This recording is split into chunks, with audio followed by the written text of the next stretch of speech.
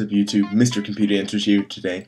And first off, I just want to thank you guys for the 10,000 views on this video. It's very exciting and glad I could help you with any of your server creation stuff. Anyways, um, I'm going to be helping you guys with the main problems you guys are having. And one of the biggest ones is that CMD opens and then all of a sudden closes without even giving you any chance to do anything.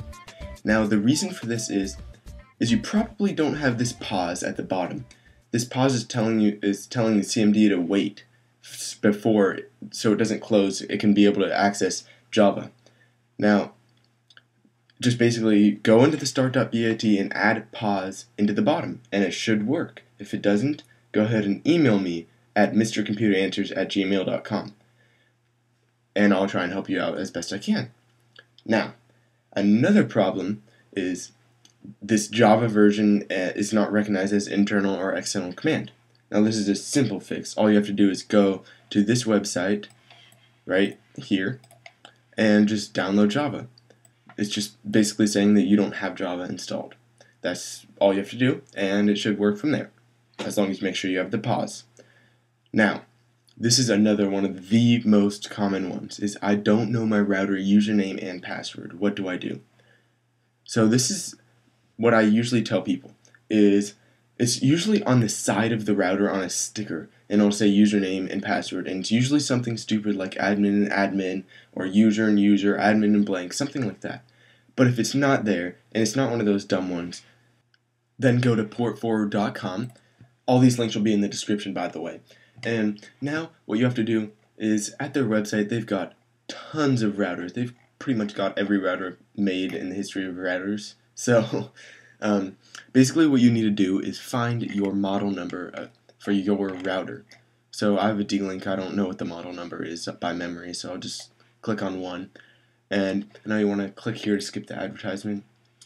And now we want to scroll down, and this is asking you what you need help forwarding for.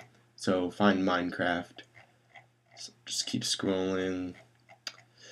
Find it. Mine. Right there. Okay. So now it'll tell you where what your default username and password is. And basically what I recommend is you go through this very short guide and it'll tell you it'll show you what your port forwarding thing should look like and this is exactly what mine looks like pretty much. And that should be about it for the default username and password. As you can see here, it says default username is admin and password is admin. So it tells you what the default username and password is. So you just have to find your router and it should work perfectly fine for you. Hopefully this video helped you guys out a lot. And if you still do have any questions, please email me at mrcomputeranswers at gmail.com and that will be in the description so you can just copy and paste it into a new message. Um, once again, I want to thank you guys so much for this 10,000 views. It's really great. Um, and thank you guys for all the subscriptions too. It really helps me out over here. And just if you like this video, go ahead and like it, favorite it. And once again, please do not send me a private message. It's very hard to respond to uh, because YouTube messaging is so basic. Like I can't see any of the threads like you would in email. So, so basically, I, th I think this this about wraps this video up for you guys, and once again, I will be releasing the server very soon, so subscribe for that to be notified when that comes out. If you guys would like to join the server before it comes out to public, it's oh, uh, on, open, online, whatever you want to call it, uh, once in a while right now, because it's not public, so you can join it, join us here if you would like. But anyways, guys, this wraps this video up. Thanks for watching.